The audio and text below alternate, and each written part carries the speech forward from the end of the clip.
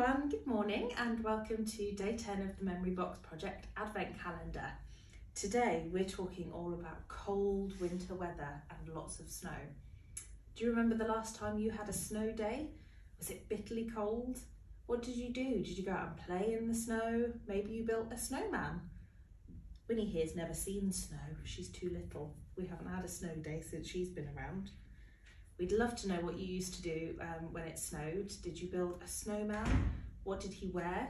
Did he have the um, buttons and scarves? Did you used to build a snowman when it snowed? Did he have all the buttons and a scarf and a carrot for his nose? How about tobogganing or going down a big hill on a sled? Or maybe you just had a tray that you went down on. We'd love to know what snow activities you got up to when you remember being uh, having a snow day. So let us know in the comments and we'll see you again tomorrow for the next Christmas activity. Bye! Annie?